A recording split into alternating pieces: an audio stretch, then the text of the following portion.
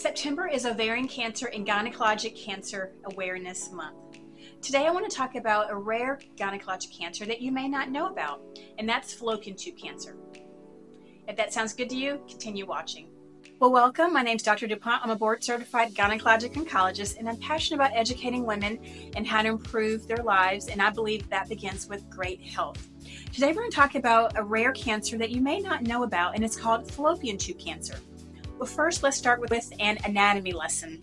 The fallopian tube is very important. So it's this part, the fallopian tube, this part all the way to the uh, to the fimbria. This is called the fallopian tube. It's four to five inches long, and it's very important in terms of fertilization.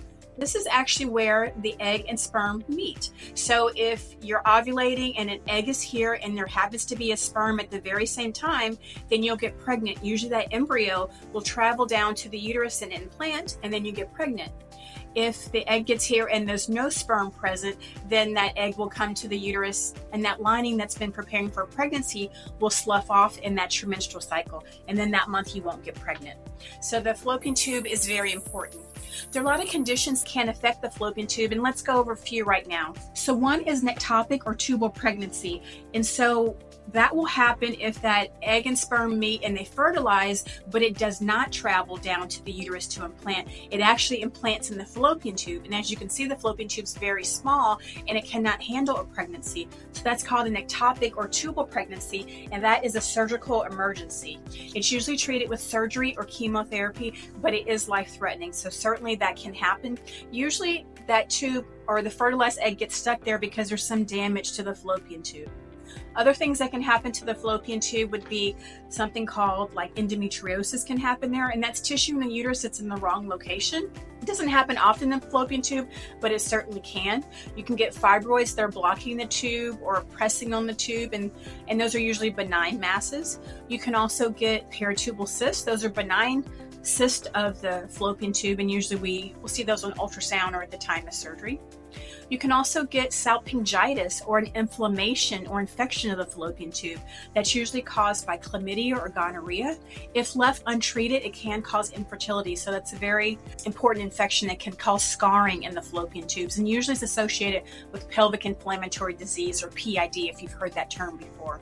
Other conditions of the fallopian tube is a STIC tumor, so a serous intraepithelial tumor or intraepithelial carcinoma of, of the tube. Usually we say uh, it's a STIC tumor, and that's usually a precursor to a high grade serous cancer usually of the ovary or fallopian tube. And then also you can get a fallopian tube cancer where the cancer actually starts in the tube. Other things that I want you to remember, you can also get tubal factor infertility, and that usually means there's some damage or some reason the tube is blocked or scarred. You can also get hydrosalpinx. So that's usually a benign condition most patients don't have pain, but hydro means water, salpinx means tube, so it's like water filled tube. And usually that cyst or fluid building up in the tube, it can cause pain, but always. I've had some patients that had it and they didn't have any symptoms at all, but it can impact your fertility status. So those are some of the conditions of the fallopian tube that can occur. So when we think about fallopian tube cancer, it's very rare. There's about three to 400 cases per year, and the incidence is 0.14 to 1.8% of all genital tract cancers. So super rare. We don't see it very often, but it does happen. Usually when we're talking about fallopian tube cancer, we kind of lump it with ovarian cancer and primary peritoneal cancers because they're all treated the same.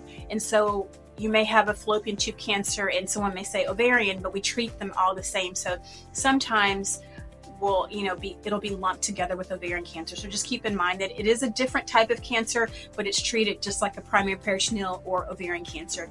And again with ovarian cancer it's cancer that affects the ovary and then the primary peritoneal cancer is cancer that affects the lining of the uterus, so the primary peritoneal lining.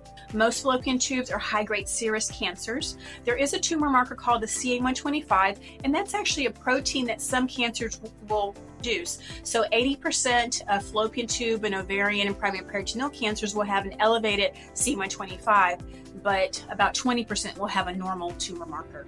And most patients do have symptoms. So some of the symptoms are watery vaginal discharge, um, colicky, pelvic pain, and then a pelvic or abdominal mass. And that's usually Latzko's triad. And about 50 to 60% will have those symptoms. Not everybody, but a majority. But most patients do have some type of symptoms. Usually, primary fallopian tube cancer is diagnosed at the time of surgery. It's really hard to pick up before surgery. Some of the other risk factors for increasing your risk of fallopian tube cancer is having lots of ovulation. So, patients that never had children, patients that breastfeed or had early age of onset when their cycle started. So, if they were like seven, eight, and also patients that had a very late stopping of cycles, so menopause. So, when that lifetime ovulatory uh, rate is high, so let's say you started at seven and you didn't stop till 58, that means your body, your ovaries were ovulating for a very long time. And we know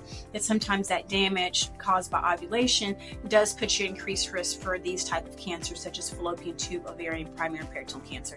Doesn't mean you'll get cancer, it just means that we know that's a risk factor and something that we keep in mind. Now, we also can pick up fallopian tube cancer sometimes if a patient has an abnormal pap that has glandular cells that are abnormal.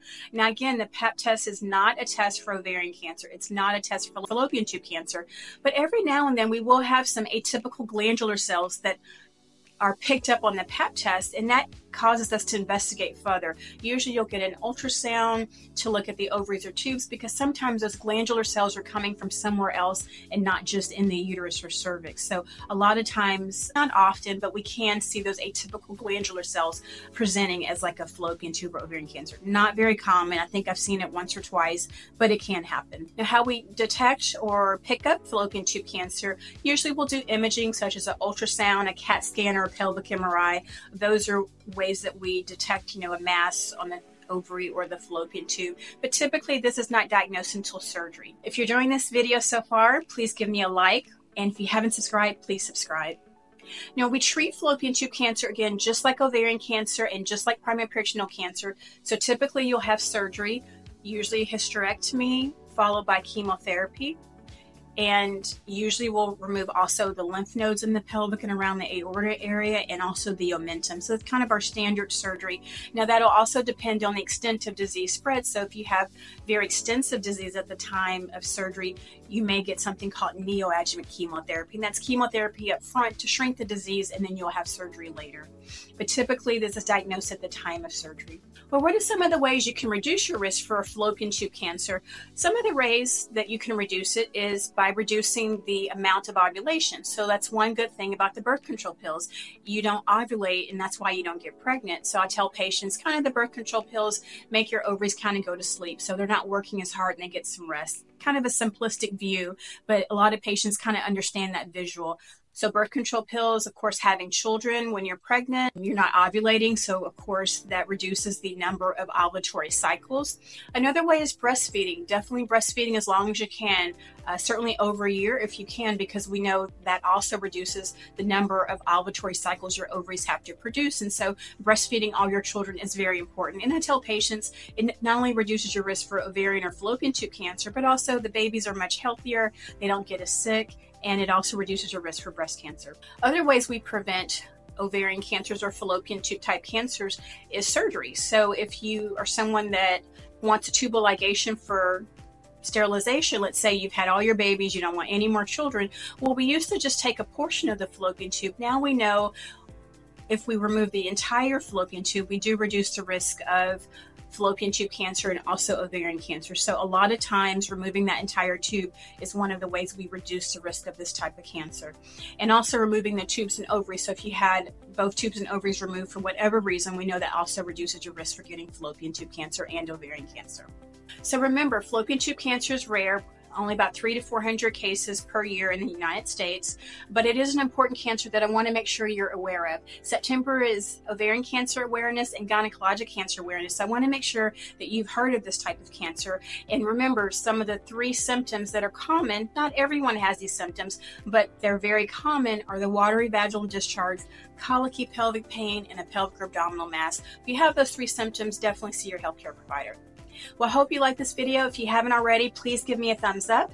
And if you haven't subscribed already, please subscribe and please share this video with a friend, a sister, a coworker. And I'll see you in the next one. Thank you for watching to the very end. Bye-bye.